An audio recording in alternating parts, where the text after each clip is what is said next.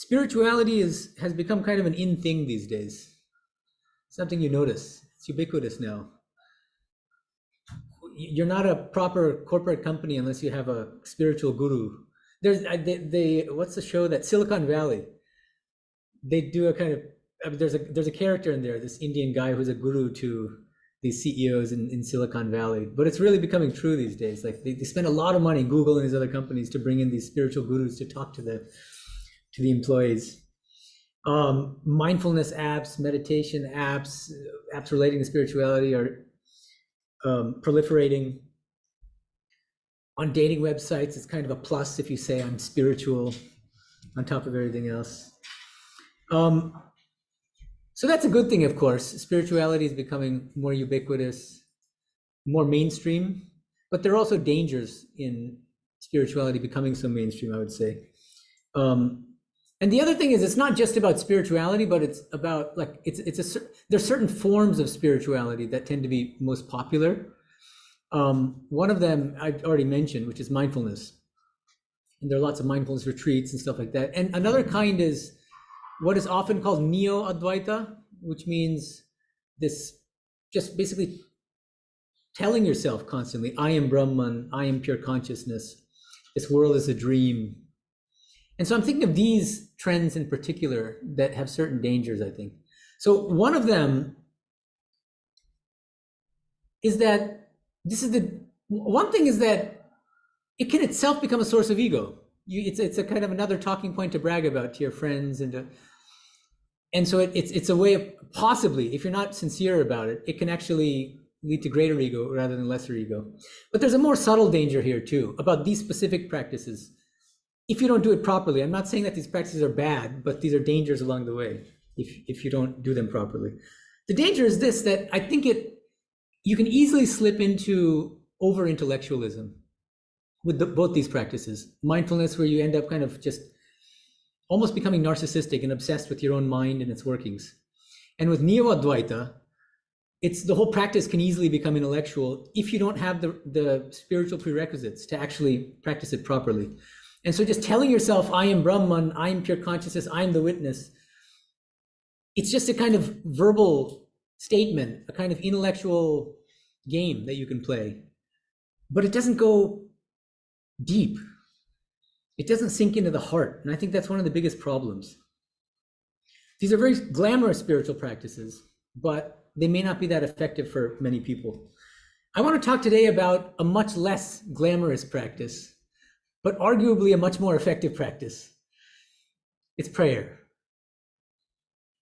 And one of the reasons why I think it's so effective in spite of it not being glamorous. Why is it not being, being glamorous? Or why is it not glamorous? That's a kind of separate lecture, but it has to do with kind of uh, contemporary skepticism. Just kind of, it just seems so quaint and traditional. Um, you have to believe in a God and God as a, as a supreme personal being and all this stuff that seems to be antiquated. That's a separate lecture, and I'd, I'd have to give arguments in support of all that, the existence of God and all that. But why is prayer so effective?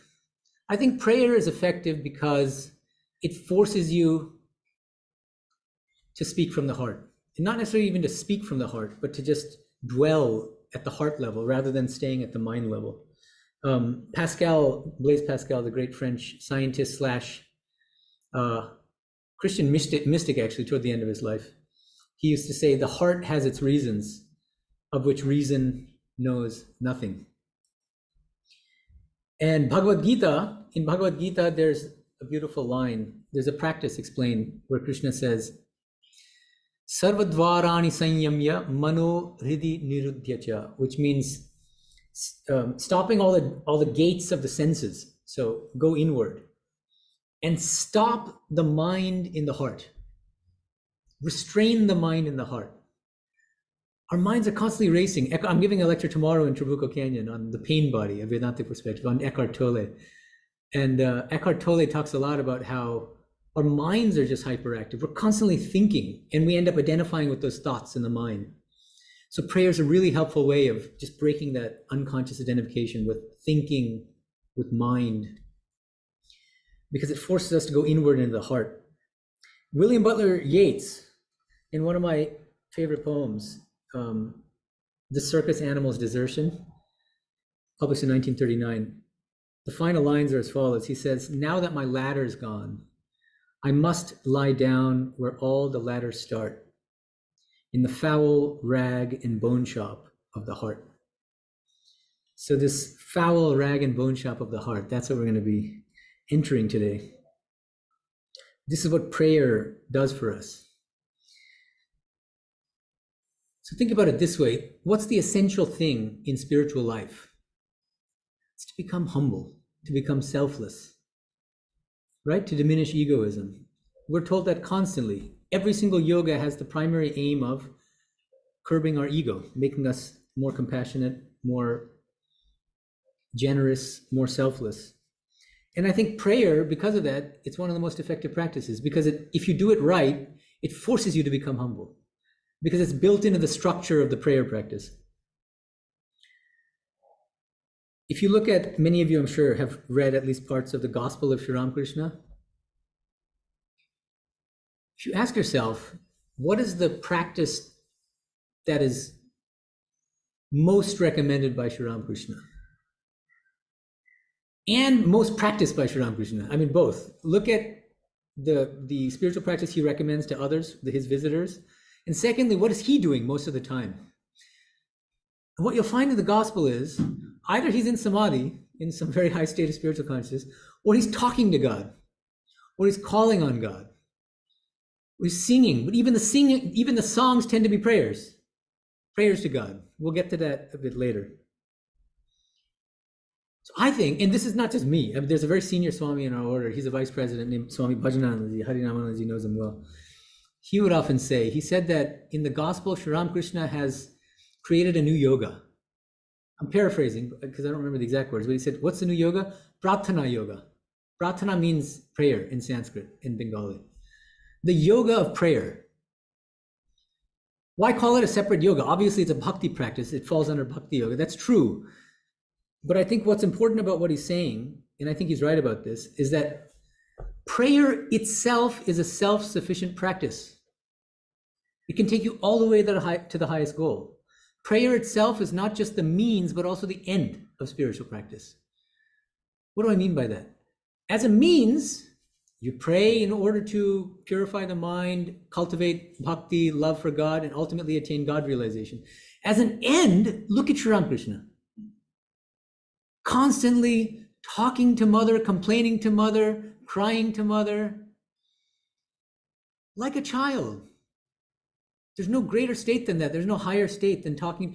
And you might say, well, that doesn't sound like the highest state. It's very interesting. He distinguishes in many places the spiritual states of jnana and vijnana. And he says jnana is he gives different explanations of these of the contrast between these two stages, but I'm giving you in one context, in several contexts, he says the following. He says, jnana is like it can only take you to the uh, you can't get to the to the real inner chambers of, of a palace. You'll know that God exists, but you can't get further than that knowledge. And he says, Vijnana is a deeper, more intimate knowledge of God, not just knowledge, but acquaintance with God, communion with God. And he says that the Vijnani feels God as a constant presence and so is literally constantly talking to God. That's the sign of a Vijnani which is the most evolved kind of uh, spiritual soul, even further than just knowledge of Brahman, non dual pure consciousness. So, in that sense, prayer as end. So, prayer is not only the means, but prayer is the highest end. And in that sense, I think it's I think it's very accurate and helpful to think about prayer as a yoga, as a self-sufficient yoga in its own right. Saint Paul in First Thessalonians he says, Rejoice always, pray without ceasing, give thanks in all circumstances, for this is the will of God in Christ Jesus for you. There's a striking phrase pray without ceasing. There's a great Russian monk, we don't even know his name. He wrote a book which many of you probably have read, The Way of a Pilgrim. And he went to church once and he heard the priest recite this statement of St. Paul's pray without ceasing. He just, it just struck him. We all hear the phrase. Many of us have heard the statement, but we don't think about it. He heard it and he's like, what does that mean? And how is it possible? He couldn't sleep, he couldn't rest because he couldn't understand how one could possibly pray without ceasing. And so he would go from one great saint to another, and this religious leader, this teacher, spiritual guru, asking them the same question. Remember how Swami Vivekananda would run around Kolkata asking, Have you seen God? Have you seen God? So this is similar. This pilgrim, this Russian pilgrim, is going around asking, How is it possible to pray without ceasing? And he meets a holy man one day, and the holy man says, Ceaseless interior prayer is a continual yearning of the human spirit towards God. To succeed in this consoling exercise, we must pray more often to God to teach us to pray without ceasing. Pray more and pray more fervently. It is prayer itself which will reveal to you how it can be achieved unceasingly, but it will take some time. So, this is beautiful advice. How do we pray without ceasing? Pray. Pray, pray with ceasing in order to pray without ceasing. So pray in, in as best you can, as sincerely as you can. Obviously, with you're going to get distracted here and there. You're going to get tired, bored, a million things. Keep doing it, and pray to God to teach you how to pray without ceasing. It's another beautiful thing about prayer. You're not in this alone. Many of these other practices, this neo-advaita, this mindfulness, these things, often I heard, look, I mean, it depends on what kind of mindfulness tradition you practice and what kind of retreat it is. But I've, I've heard from some friends of mine who've done some mindfulness retreats who say that they're very rigid about set all your prior beliefs and practices and spiritual inclinations at the door and do what we tell you. And none of these fanciful beliefs in a higher power. So it means it's completely your own self effort. It's called Purushakara in Sanskrit these kinds of spiritual practices. And that can be very daunting. And it's a great source of consolation, support, that there's a there's somebody who loves us out there who can help us, and we can call on him to help us in our spiritual practices. That's another nice thing about prayer. So this Russian pilgrim, he starts repeating the Jesus prayer continually. What's the Jesus prayer? There are different forms, but one of the main ones is Lord Jesus Christ, Son of God, have mercy on me, a sinner. And he meets another monk who tells him how he should be repeating this prayer mentally. He says, The continuous interior prayer of Jesus is a constant, uninterrupted calling upon the divine name of Jesus with the lips, in the spirit, in the heart, while forming a mental picture of his constant presence and imploring his grace during every occupation, at all times, in all places, even during sleep.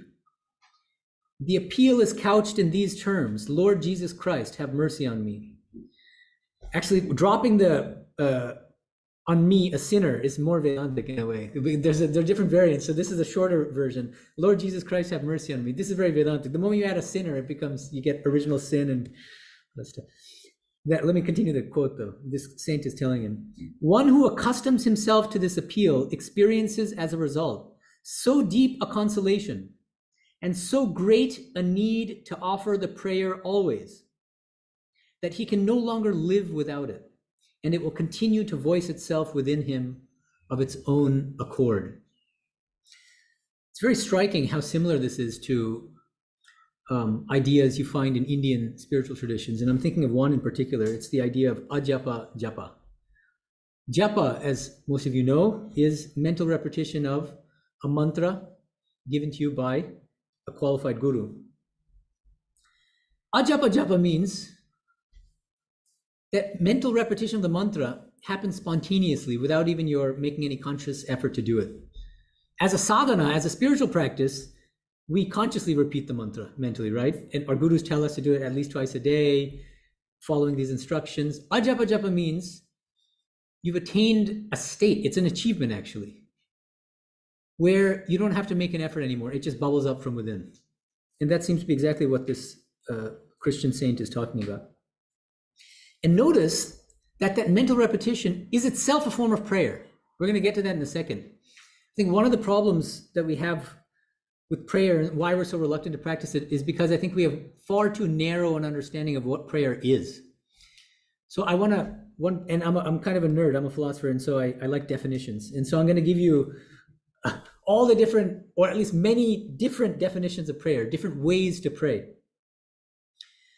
Um, but before we get to that, one other thing I'll mention is just that um, many of you have probably heard of the great American novelist J.D. Salinger. So he wrote a book called a novel called Franny and Zooey. Um, and that book is actually centered around this theme of praying without ceasing. It's about this young girl who reads The Way of a Pilgrim and just it, she becomes obsessed with it. And it's about her. And it's not a coincidence that J.D. Salinger was initiated by Nikhilanandaji, one of our great monks, the great translator of the Sri Sri Ramakrishna Kathamrita in, as the Gospel of Sri Ramakrishna. He was the head of one of our New York centers. So there's a connection with Vedanta there. Okay, so now we get into the talk proper, even though I've already covered about 20 minutes. But anyway, okay, so I want to do a few things. One, what exactly is prayer? What are the different kinds of prayer? And also, how do we deepen our prayer practice? How do we know we're making progress? Um, I'll also try to discuss some doubts that many of us as sadhakas, as spiritual aspirants, have about prayer practice. And I'll end very briefly with some practical tips on prayer. So, first, what exactly is prayer? I think the best and broadest definition of prayer is as follows. This is it's not very controversial, but I think many people aren't aware of this.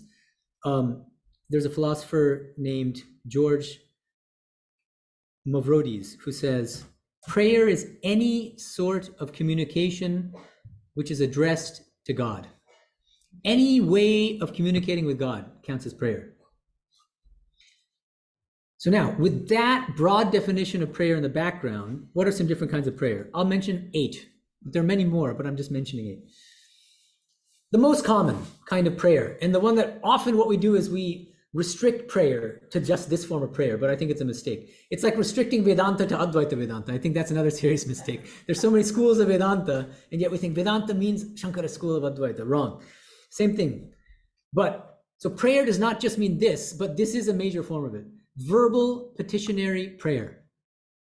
Verbal petitionary prayer. Verbal, you speak words. Petitionary, you ask, you're asking God for something. That's what petitionary. So that's the most common understanding of prayer. Many people think that's what prayer is. And that's all that prayer is. I talk to God who may or may not exist, and I ask him for things, usually worldly things. right?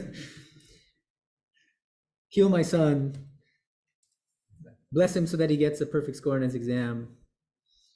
Uh, bless me so that I get that job I've been wanting for wanting for so many years, and so on.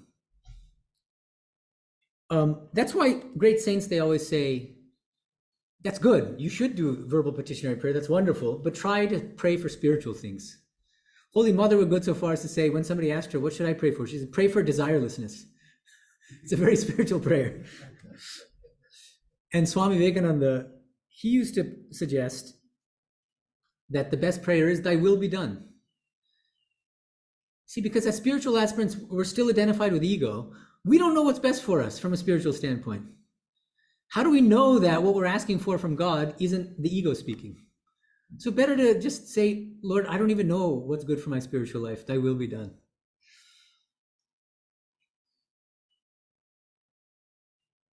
Um, Saint Evagrius, a great Christian monk, there's there's a collection of the teachings of the Desert Fathers called Philokalia. So it's from this. Saint Evagrius says, "Do not pray for the fulfillment of your wishes, for they may not accord with the will of God, and those wishes may come from the ego." Then he says, "But pray as you have been taught, saying, Thy will be done in me." Always entreat God in this way, that His will be done for he desires what is good and profitable for you, whereas you do not always ask for this. We don't know what's really good for us from a spiritual standpoint. And the ego has a way of convincing us that we want things and that yes, yes, this is what you want. This will make you, this will help you with your spiritual progress. In fact, the opposite happens. It's the ego in disguise in the form of prayer. So better to ask thy will be done. Anyway, Second kind of prayer, the prayer of surrender. Surrendering to God, the act of trying to surrender to God, is itself a form of prayer. How do we know this? Gospel again. Sri Ramakrishna, he will often give, he will often pray verbally, kind of openly, so that people can hear his prayer, to set an example of what the way that you should pray to God. And one of these prayers, beautiful prayers, he says is, "O Divine Mother, O Mother, Ami jontro tumi jontri. I am just a mere instrument in your hands. Shoronagoto, Shoronagoto. I take refuge at your lotus feet. Naham, Naham, tu, tu. Not I, not I, but thou, O Lord. This is the prayer of surrender. Many of you have attended our evening vespers, our arati. In Hollywood, it's at 6 p.m. Um, Swami Vivekananda composed the first two arati songs, the first in Bengali and the second in Sanskrit. And the refrain in the second song, one thing that's very interesting, if you read the complete works, you'll think that Swami Vivekananda was a great jnani, which he was, and it, he taught Advaita Vedanta all the time. These two songs he composed, full of bhakti and surrender. And so the second song, the refrain is Tasmat Tvam Eva Sharanam Mamadina Bandho. Therefore I take refuge at your lotus feet. O Lord, and the epithet for Lord here is my Dina Bandhu. O you who are the friend of the lowly. You might think this is very unusual for Swami Vivekananda, who's saying, don't call yourself weak and low. But this is him speaking from his heart. He told Nivedita toward the end of his life, he said, Sri Ramakrishna was all bhakti on the outside and all jnana on the inside. And I am all jnana on the outside and all bhakti on the inside. And I'm apt to weep at, at the least opportunity. He's so emotional, actually. If you if you look at his life, you can't understand Swami Vivekananda by just reading complete works. These were his lectures, public lectures mostly. Look at his life. Third kind of prayer, the prayer of recollection, the prayer of remembrance. This is what Sri Ramakrishna calls in, in the gospel, Sharbada Sharon Monon, Smarana Manana in Sanskrit, which means constantly thinking or reflecting on God. Not reflecting, remembering God. In fact, Ramanuja, the great Indian philosopher, South Indian philosopher, who founded one of the most important bhakti schools of Vedanta, Vishishtadvaita Vedanta, he said that the highest practice is bhakti yoga, and that can take us directly to God realization. But he defined bhakti yoga in a very specific way. He said that bhakti yoga, true bhakti yoga, the highest kind of bhakti yoga, devotion, is constant recollection of God like an uninterrupted flow of oil, stream of oil. This is a classic Indian example, analogy, where you pour oil from one vessel into another and there's an unbroken stream. Just like that.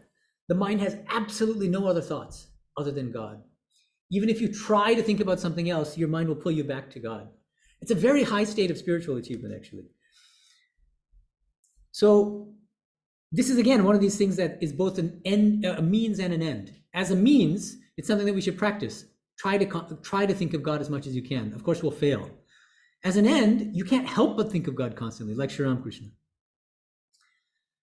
Brother Lawrence, uh, in uh, a series of letters which has become famous called Practice of the Presence of God, he describes this kind of prayer. He says, his own, and he speaks of himself in the third person. His own prayer was nothing else but a sense of the presence of God. His soul being at that time insensible to everything but divine love. So, what does that mean? It means he just feels the presence of God constantly. That's constant recollection. Just as if I feel, just like I feel your presence now because you're in the room. But he felt he felt God in the same way. You see, that's such a wonderful state. Sri Ramakrishna also in the gospel, I think that it's if you ask him what was, or if you ask what was his most common prayer, he's he, he's verbally uttered a lot of prayers but that wasn't the most common prayer in my opinion.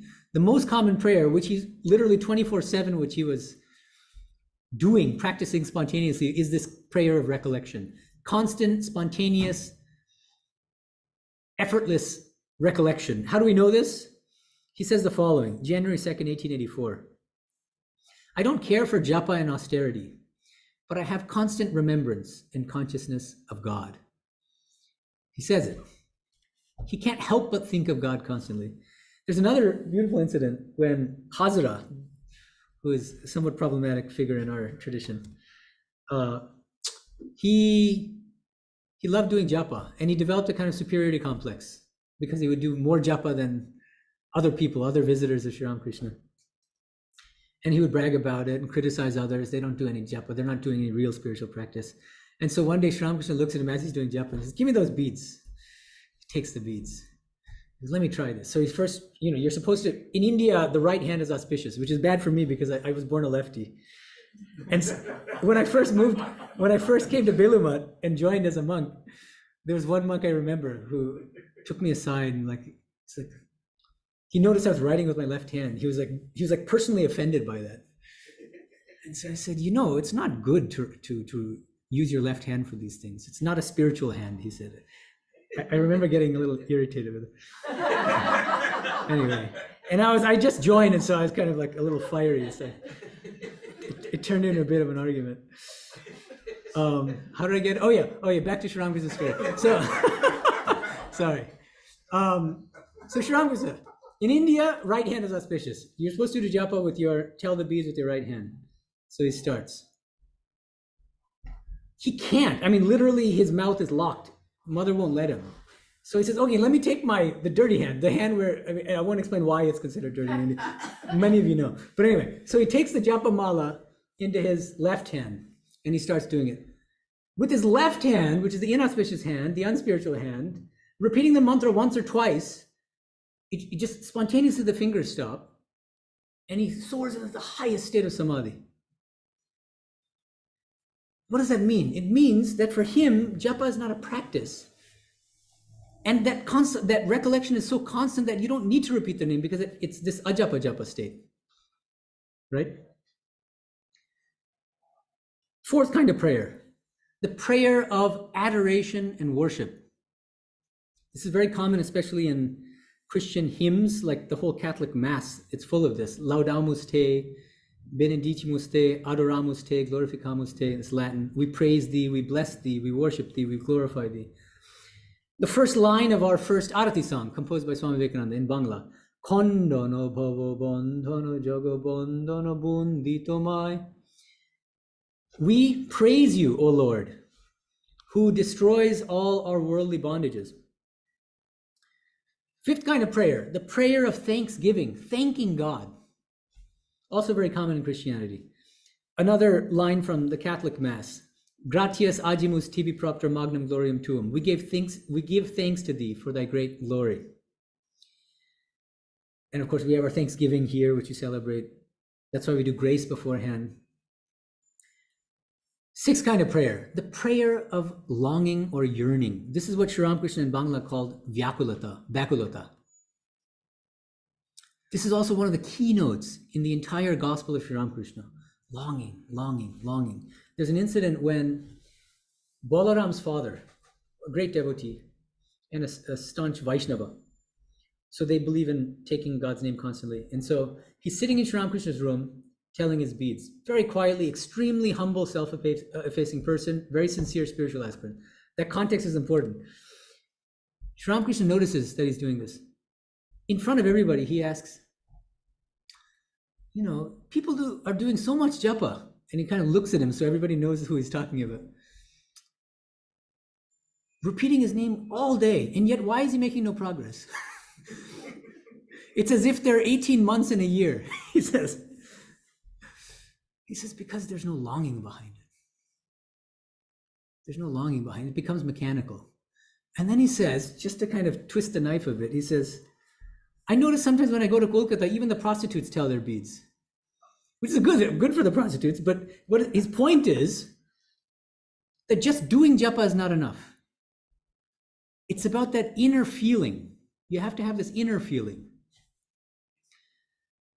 So the goal of true prayer is to just have this genuine longing for God. In fact, Sri Ramakrishna would say, having that longing is like that rosy dawn, that just the first glimmer of the sun coming up before the sun actually comes out in full blaze. He says, then you know that you won't have much longer to wait before God realization. It's that highest state, that genuine longing for God.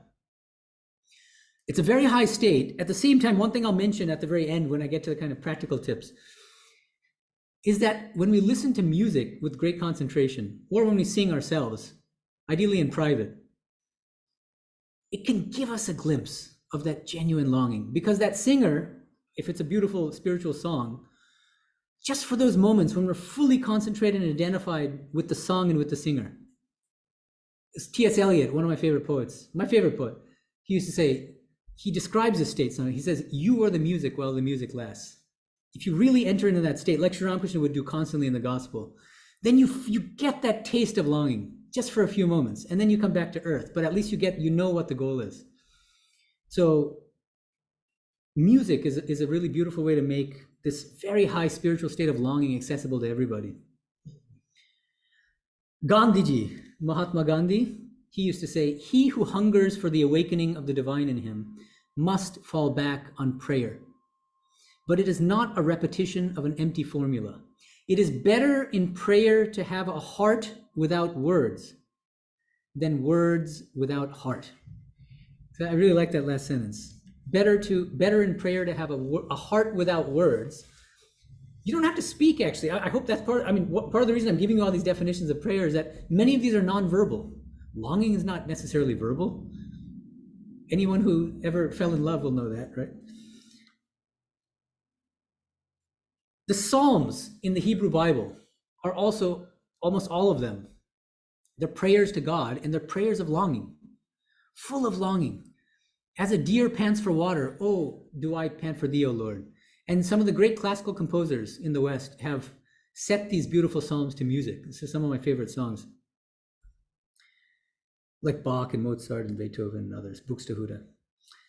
Seventh kind of prayer, the prayer of confession and repentance. Also very common in Christian traditions. But in Christian traditions, often, especially in the Catholic tradition, there's an intermediary, there's a priest, and there's a confession booth, and you go to that priest and you confess to, to, to, to the priest. In Hinduism, in Vedanta, no intermediary is necessary. You can confess to your guru if you want, but your guru is God. But just go straight to God. It's the best thing. Sri Ramakrishna himself would recommend that. He says, Sri Ramakrishna says, one cannot see God without purity of heart. Through attachment to lust and greed, the mind has become stained, covered with, with dirt, as it were. A magnet cannot attract a needle if the needle is covered with mud.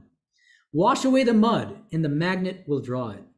Likewise, the dirt of the mind can be washed away with the tears of our eyes. This stain is removed if one sheds tears of repentance and says, O Lord, I shall never again do such a thing. Thereupon, God, who is like the magnet, draws to himself the mind, which is like the needle. Then the devotee goes into samadhi and obtains the vision of God. So notice what he's saying here. Whatever you've done, good, bad, otherwise, confess it directly to God. You don't need to tell anybody else in the world but tell God. Openly with tears in your eyes tears in your eyes. You'll find this is another thing he says constantly. Not just pray, pray with tears in your eyes. Why? Because tears are a sign of sincerity and genuine feeling. If you just mechanically repeat, oh, I'm sorry I did this thing, that's one thing. But genuinely shedding tears for what you've done to God, that's what's going to work from a spiritual standpoint. Eighth kind of prayer, so that we don't spend the entire talk just defining prayer prayer of unburdening, unburdening yourself. This is very similar in a way to confession, but it's broader, I think. Holy Mother recommended this kind of prayer. Shout out Sharada Devi. She used to say, Tell Thakur, meaning Sri Ramakrishna, whatever feelings and worries are in your mind and pray to him. See, it's not just confession, it's anything, whatever's on your mind, which you'll usually complain to your spouse about or, you know, your friends. Just tell God. Then she says, confess all your worries and sufferings to him with tears in your eyes you will see that he will then take you onto his lap. So, what's the whole point? Why did I spend so much time defining these eight different kinds of prayer? And there are many more. Because it helps us to, first of all, avoid this, this danger of too narrowly defining prayer and thinking that it means only verbal petitionary prayer. There are many, many different kinds of prayer. And it gives us a kind of arsenal, a whole, so that we can learn how to pray without ceasing. Because in different circumstances in life, in our day to day life, certain forms of prayer are more realistic than other forms of prayer. You see, you can't engage in verbal petitionary prayer when you're giving a lecture or something, or when you're talking to somebody else, usually. If you're at the stage of ajapa japa, that will be going on within, but that's a separate issue. But there are so many other ways you can still be praying. Even when you're arguing with your spouse, even when you're at work, talking to your coworkers, concentrating on some difficult mathematical problem, there's always a prayer in every circumstance. That's that's that's the main reason why I explain this in such detail. Now, a couple more things. How do we, as spiritual aspirants, know that we're making spiritual progress in this practice of prayer? Uh, again, I think it's useful to bring in Eastern Orthodox Christian teachings, these great desert fathers, because one of their main practices was called hesychasm, H E S Y C H A S M, hesychasm. The English translation is often prayer of the heart. That was one of their main practices. And as I mentioned in the context of the way of a pilgrim, it's the mental repetition of the Jesus prayer Lord Jesus Christ, Son of God, have mercy on me. And they would explain that there are these three stages in hesychasm, in this practice of hesychasm, prayer of the heart. The first stage is what they call catharsis. These are Greek terms. This is the stage of purification, self purification. We're engaging in prayer because our minds are full of dirt, impurities, worldliness. And so through prayer, Sri Ramakrishna used to say, when you pray with tears in your eyes, those tears will wash away the mud covering over the soul and give you that purity that you're looking for. And in this context, Sri Ramakrishna would say again and again, kina kina prarthana. That's why you should pray with tears in your eyes. Saint Evagrius, the great desert father, would say exactly the same thing. He said, Pray with tears, and all you ask will be heard. For the Lord, for the Lord rejoices greatly when you pray with tears. So that's the first stage. And in this stage, you'll find that uh, when, when you pray, sometimes it is mechanical, sometimes it's not from the heart, but you're trying your best. That's the idea. Second stage, called theoria. Theoria, that's where the word theory comes from. But they define it in the spiritual sense of illumination. This is not God realization, that's the third stage. But it's a kind of very spontaneous prayer with a genuine feeling of longing for God behind it. So it's a very high stage of prayer practice. It's prayer not at the mental level, but purely coming from the heart, welling up from within spontaneously, without any distracting worldly thoughts. So then, the third and final stage this is the culminating stage of prayer. The ultimate aim of our prayer practice is what they call theosis, which literally means divinization. You become one with God you realize God in your own heart and that you are yourself a spark of that divine fire. And as for doubts, sometimes we have doubts about prayer. One, one doubt is actually voiced in the gospel. A Pandit, a great Pandit, asks Sri Ramakrishna, Does God listen to our prayers? This is a doubt that comes up. Or are we just talking to ourselves like crazy people? And I, that's I added that. Sri Ramakrishna says the following his answer God is the Kalpataru, the wish fulfilling tree. You will certainly get whatever you ask of him, but you must pray standing near the Kalpataru. Only then will your prayer be fulfilled. But you must remember another thing God knows our inner feeling, tini bhabgrahi. A man gets the fulfillment of the desire he cherishes while practicing sadhana.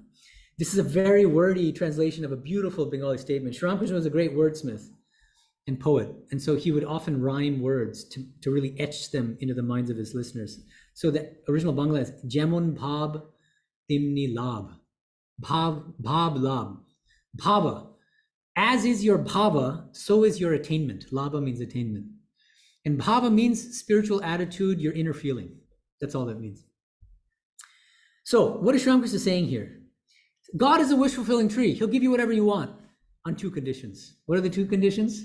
Condition one, you should be close to the tree, the wish fulfilling tree. You have to get close to it. You can't be 100 miles away and expect the tree to give you what, what you're looking for. What does it mean to be close to God? You, you get closer to God the more pure you become, and the more you think of God, and the more longing you have for God. So, cultivating that longing for God is crucial to having God respond to your prayers. And secondly, you have to be absolutely sincere. And he says, God is bhabgrahi, another beautiful Bengali phrase, which Nikhilanandaji renders as God knows our inner feeling, which is quite nice as a translation. Even if we verbally ask God for something, maybe in our heart of hearts we don't want that. This often happens actually, because we often don't know what we really want. But God knows what we really want. So even if God doesn't give us what we are asking for verbally, He might be giving us what we're actually wanting more deeply, even if we ourselves don't know what we really want. That's another aspect of this. And so just keep in mind that the, the purer we become, the less worldly, the less preoccupied we are with worldly things, the more effective our prayers will also become. But that doesn't mean that we should first become pure and then pray. Prayer itself is both the, the means and the end. That's why Sri Ramakrishna will say again and again, pray with tears in your eyes, because through genuine prayer, you, you're able to purify the mind. You, those tears wipe away the mud covering over our, our souls. Another, this is a kind of an interesting doubt that uh, only a philosopher can come up with. Uh, many of the prayers recommended by Sri Ramakrishna in the gospel tend to be things like this. He'll say things like, I already told you one of them. I'm a mere instrument in your hands, O Lord. There are other prayers where um, he says, I don't want bodily pleasures. I don't want name and fame. I don't want any of the eight occult powers. I want only pure love for your lotus feet. And so on. That's one of the standard prayers that you find in the gospel. And a question might arise, a doubt might arise. And he's encouraging us to repeat this. The thing is, he can say that because he really doesn't care for anything but God. Can we say that honestly to God? Can we honestly tell God, I have absolutely no interest in any kind of bodily comforts or pleasures? I have absolutely zero interest in any kind of recognition or name and fame? Can we? Probably not. As spiritual aspirants, probably none of us can until we've attained the highest goal of God realization, of self self realization. So the question is, well, aren't we lying to God then? This is the question that I came up with. But here's another thing about prayer. The primary purpose of prayer is not to inform God of anything. Why? Because God is omniscient. He already knows what's in our minds. He knows everything. Do you, do you, don't you think that he knows exactly what we're going to ask for? No. So we're not telling him something he doesn't know. That's not the purpose of prayer. The aim of prayer is actually to transform us. So Kierkegaard put this really beautifully. He said, where did it go? Uh, it's there somewhere. I'm going to have to paraphrase because he says, the aim of prayer is not to influence God, like you're lobbying God for something but for you yourself to be transformed. That's the main, that's the main thing behind prayer. And so likewise, Sri Ramakrishna would often say, always tell yourself, never say you're a sinner. Of course, we all of us have committed sins, if not in this life, then in a previous life. So there's nobody who's not who has not committed sins. But he says, never tell yourself you're a sinner. Say, I am already liberated, because that will help you to become liberated. And one of the books, one of the few books that he kept with him as, as his own personal property, was Ashtavakra Samhita.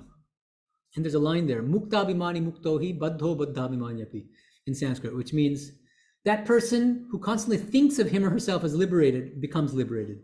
And that person who constantly thinks of him or herself as bound will always remain bound. That's the idea. So even if you're not liberated, it's still good to tell yourself you're liberated. Even if you don't want, even if you do have some desire for name and fame and worldly pleasures, in earnest prayer, when you talk to God and say, I don't want any bodily comforts, I don't want name and fame, that's a way of actually becoming what you're praying for. So prayer is not just, it's not primarily about giving information, conveying information to God, it's about transforming yourself. And you're actually changing who you are in the act of prayer. That's the important thing. So that's one way I thought about how I, we could respond to this kind of doubt that some people might have. And finally, let me end the, the talk with a few practical tips about spiritual practice and how we can effectively engage in prayer practice. First, another common mistake that people make is, is to kind of bifurcate their spiritual, their, their life into spiritual practice and everything else. So spiritual practice is morning and evening, my guru tells me to wake up and sit in the shrine for a certain amount of time, and I repeat, I tell my beads, or I, you know, take God's name or whatever, whatever the practice is. And then I come out of the room, and then I argue with my spouse, and I yell at my kids, and then I go to work and argue with my coworker. No. So the idea is that you should try to spiritualize every moment of your life. That's extremely important, and prayer helps us to do that. Because if prayer means communicating with God in any way, a really useful way of spiritualizing every moment of our life is to try to engage in some form of communication with God at all times. There's no one size fits all formula for that. Figure it out for yourself based on your life commitments and what you're doing on it, what your daily routine involves. You'll figure it out. And apart from the eight ways of praying that I gave you, there are many more. You, I'm sure you can come up with your own ways. Of any way of communicating with God is a form of prayer. Second practical tip often when we read the gospel, we even monks will sometimes wonder, like, should we take what Sri Ramakrishna is saying absolutely literally? Some of the things. This there's one. So one of these teachings that this often comes up when he would say, "Pray with tears in your eye." Did he mean it literally? I think he did. I think it's very useful and helpful in our spiritual life to, to literally, when we pray, we should try to pray with tears in our eyes. And I've already told you why but I'll, I'll, I'll, say it again. Because tears are a sign of sincerity. Even in worldly life if somebody's crying except if you're a very good actor then you can you know you, you can shed what are called crocodile tears. But if you're not a seasoned actor it's very hard to pretend to be crying like that. If you, there are tears people know you're you, you, you're, you're feeling something genuine. It could be something very worldly but it's still genuine. You lost a million dollars but it's still genuine feeling. You're distraught about it right? And Shamsu will he'll even say, this is very interesting, and I've confirmed this for myself. He says that when people pray for or cry about something worldly, the tears come from the inner corners of the eyes. And when people uh, cry as a result of spiritual things, crying for God, for instance, the tears come from the outside of the eyes. It's very interesting. Think about that.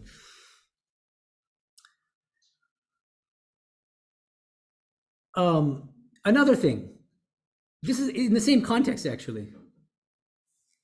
Even if it's very hard to bring ourselves to actually pray with tears in our eyes, maybe most of us, we just can't. It'll feel artificial and it won't work. One beautiful way to help us to do this is music. I've already mentioned this, but I think it's really helpful. Privately, listen to a beautiful spiritual song. It could be a bhajan. Most Indian bhajans are just prayers. And so if you listen with concentration, this is a very, very easy and effective way to literally pray with tears in your eyes and to feel, as I said, get a glimpse of what true spiritual longing, the longing of saints, really feels like just for a few seconds or moments.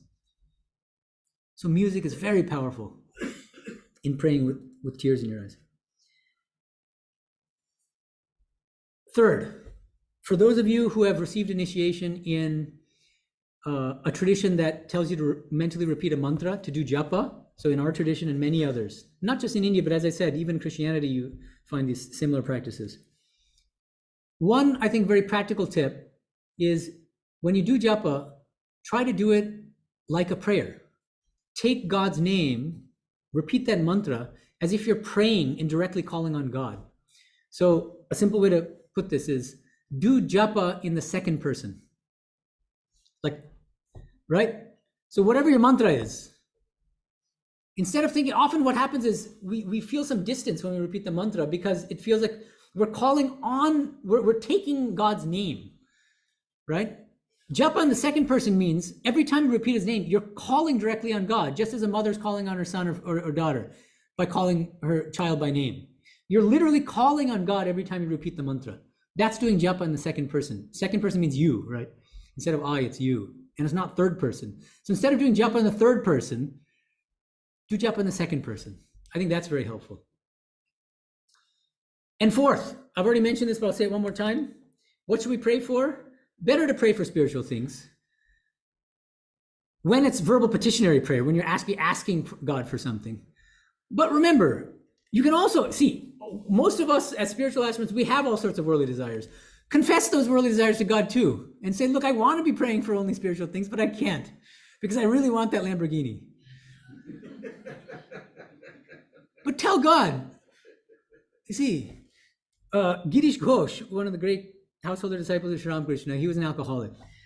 And when he came to Sri Ramakrishna complaining about how he can't overcome this alcoholism problem, Sri Ramakrishna said, okay, then listen.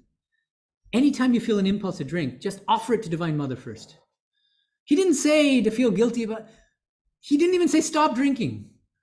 Whenever you feel that impulse, offer it to Mother first. And he did it, and eventually he stopped drinking altogether. That's the beauty of it. All right, I'll end on that. Thank you.